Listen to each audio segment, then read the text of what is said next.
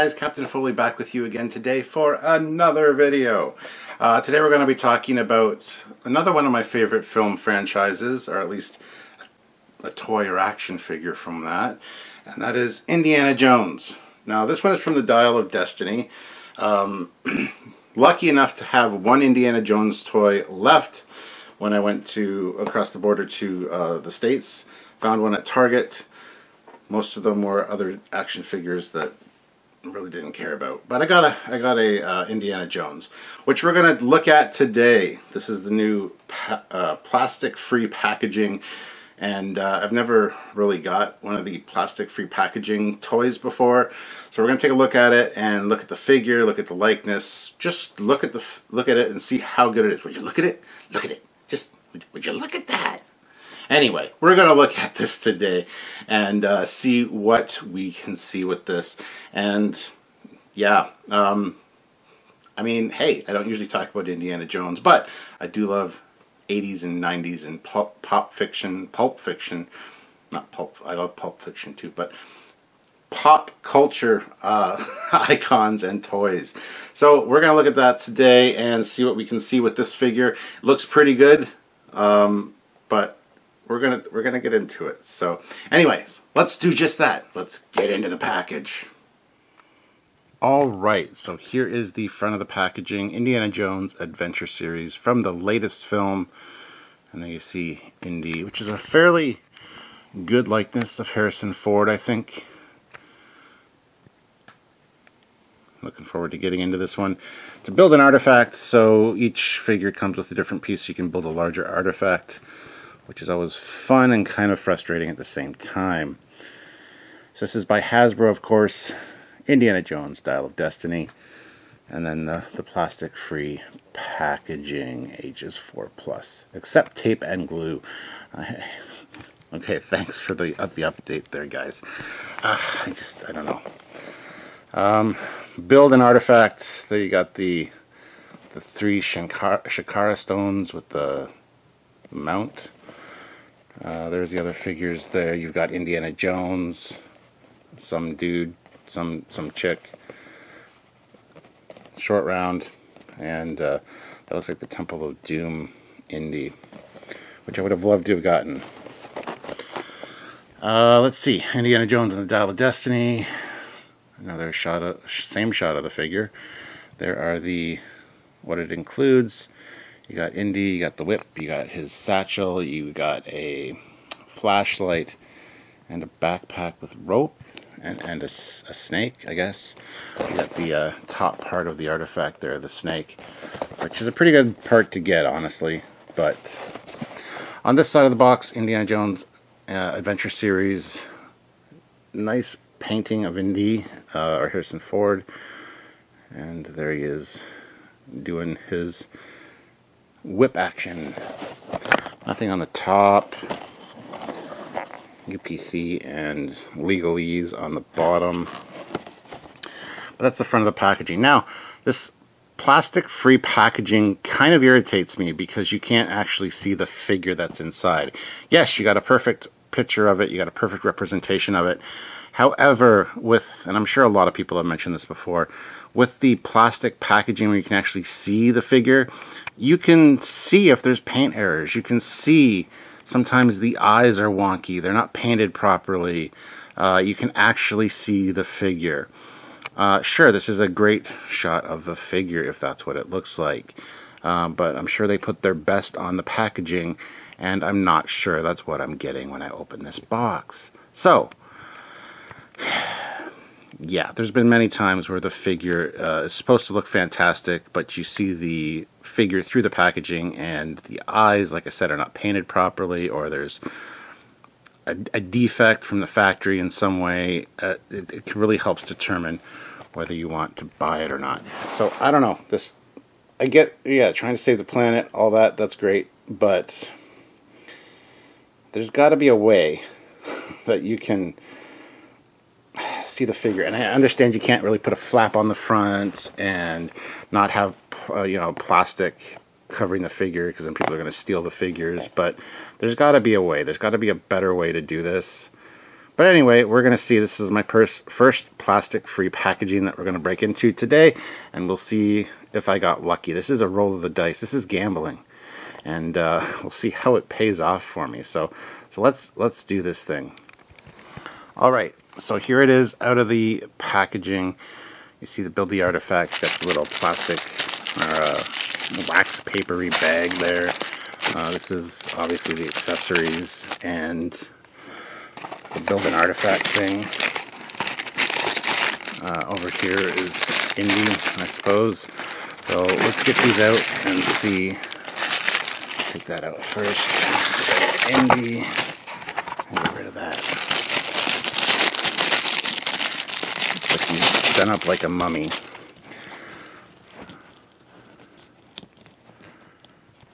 Alright. Uh, the packaging I do kind of like. I do kind of like this um, wax paper. Looks like the Indiana Jones maps. Oops, had it upside down. You see the plane. And then the world map. That's kind of cool. So, no complaints there. Alright, here's the figure itself with this satchel. Um, now, the thing about Harrison Ford, uh, young and old, he looks a lot like my dad, so every time I see Indiana Jones, I just see my dad. Um, I do like the hat brim being flexible. The hat's a good size, it's not overly large, it does not come off. Um, the eyes aren't bad. I they're fairly well done. Uh, shirt detail is nice. The coat detail is nice. Pretty good articulation, I think. Um, uh, yeah, we're going to get into the accessories. I have things to say about that too. Alright. Belts, pants, shoes. This is actually a pretty cool, nice looking figure, I gotta say. So I'm kind of glad I got this one. Um, I'm glad I found an Indiana Jones because I didn't want any other of the other figures. Would I prefer a younger Indiana Jones? Yes, absolutely. Um, but this is not so bad. So let's get these out and take a look at what's in here, shall we? We shall, and here they are. So here is the for build your artifact thing, there is the Cobra. Pretty impressive looking Cobra, actually. Um, snakes. Why did it have to be snakes? Sorry, I dropped it. Um, that's actually a pretty good, like, companion piece to that. Just sitting beside him or whatever. Packaging out of here. So, as you can see, it is a fairly large snake compared to Indiana but it is supposed to be top of the monument. Um, as you can see there it is the top piece of the Shikara stones holder. So but it works as a its own little like snake thing. Uh, so that's that's pretty cool. It's kind of reminiscent of the old 12 inch G.I. Joe action figures um, I know my brother had those and uh, played with them quite a bit as a kid and they came with snakes and stuff as well because those 12 inch um, GI Joe figures were adventure figures, not necessarily not necessarily military, like when they went to the um, three and three quarter inch figures. So anyway, so there's the snake. Uh, next up, we've got the whip, the bull whip. It is molded quite nicely quite realistically. Um, I kind of like that it doesn't unfurl because usually when you have to wind up or coil up the whip when it is an actual whip, it never looks good. This will look good. It's got a little peg hole there, which will go on the side of Indiana Jones here, I'm sure. Um, Yep, there is the little peg right there. So we will plug that on there.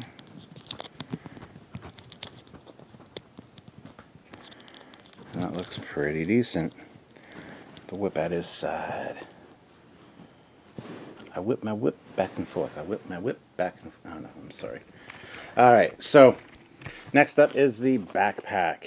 Again, love that it's all molded together. I think the paint job is pretty good. The rope looked like it was in a separate piece on the box. Like the tools in there. I think they're molded quite well. It looks very realistic. Um, will I put this on him? I mean, maybe. you know what? Let's put it on. Sure, why not? Um, might as well do the whole figure thing. So that goes on that arm. Oh, well, you can see this. Sorry, the uh, viewfinder is kind of wonky here. Put that on that arm. Actually, that's not too bad. That's not too shabby. So there it is. I think it looks good on his back. Alright, now, one thing that I'm kind of disappointed with is that the only other accessory that we have here is this flashlight. Or, if you're British, a torch. Um, dude, this is Indiana Jones. Yes, he's got his signature whip. He's got his satchel. He's got his leather jacket. He's got his hat. Check, check, check, check, check. Where is his hand cannon? Now, I'm going to be perfectly honest with you guys. Today is September 6th. I have not yet seen Dial of Destiny. I'm well aware of main plot points in it and all that. I haven't seen it. I don't know if he has a hand cannon in it. And the reason I say hand cannon and not gun is because every time Indiana Jones fired that gun, it sounded like a cannon. It was a pretty powerful weapon. Where is his gun? I would love to have Indiana Jones have a gun. Why does he only have a whip? Has older Indy given up using weapons? Has he become Batman? I, I, I don't know. Um, I mean, Batman does use weapons and does kill people, um, despite what everybody thinks. But anyway, uh, we have this. We have the the, the lamp, which uh, will fit in his his hand there. So let's do that real quick. Uh, that in his hand. Oops, this way. Uh, let's see, how well does he hold this thing? Um, Alright, come on. There we go. There we go. Alright. Get it in there all the way, though. That's the question. This is never a fun process to do, nor does it ever look good on camera. Usually something you fiddle with off camera to get it right. So there you go. He's he's holding the lantern, not correctly though. I gotta get those fingers.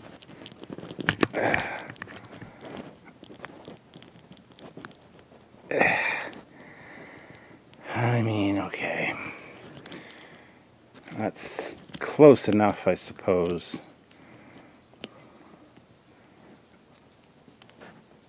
Eh, looks alright. Alright. So, there is your figure. And sure, he looks all action adventure He's got the backpack, he's got the rope, he's got a pickaxe or whatever that is sticking out of it, as well as a pair of pliers. Tools. He's got tools. Um, and it looks good. Uh, I just wish there was, honestly, I wish there was a gun as a as an accessory. But here we are. So honestly, I'm pretty happy with it. It will go on a display shelf. I don't even mind the the lamp. I wasn't going to put the lamp in his hand the, uh, the flashlight, but I think I will keep it. I just wish it would have been a gun instead, but hey. Um, now one more finishing touch to make him look more actiony. Hold on one second. I'm going to turn you guys off for this because I don't want you to experience the noise of me messing with the toy, which I'm sure you already have. So, all right, hold on one second.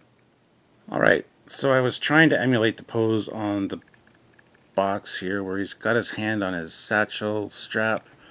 Um, done that, but the arm doesn't, it, it pulls it away from the body and it looks kind of stupid.